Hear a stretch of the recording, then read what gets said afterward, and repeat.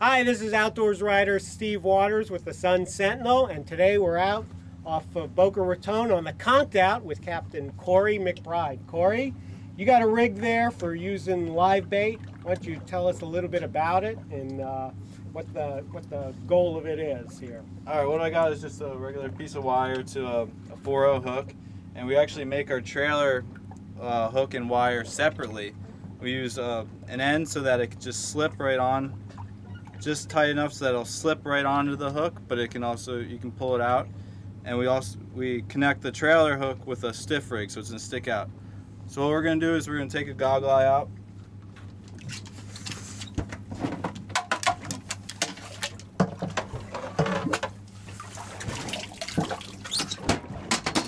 Here we got a gog. What we're gonna do is we're gonna line it up so that we know that the wire, we want the hook right here. We're gonna make a little hole with the hook. Now we're gonna actually just push the other end of the wire. Feel settle down. Uh,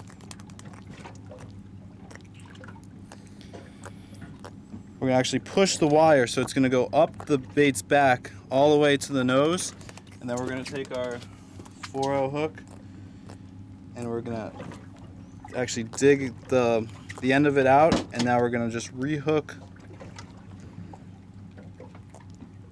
the bait through the nose and so now the, the trailer wire is completely in the fish so that the predator fish can't see it and the hook's exposed just like that Okay. now and this hook goes through that loop there and right through the right bait. through and this works for slow trolling or flat lines Will you put it out on your kite baits or? no Okay. No, this is just for flat lines. Um, we, we're gonna hook our kite baits through the back of the goggle eye, Right.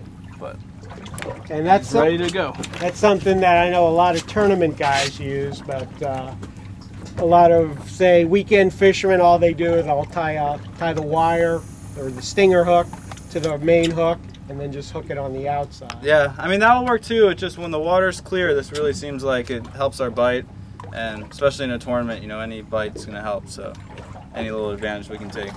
Okay, well that's a great rig, and it's tournament proven because Conked Out won the saltwater shootout last year, and the uh, you won the overall too, right? Yeah, The we won the, showdown, the or- showdown crown. Terrific.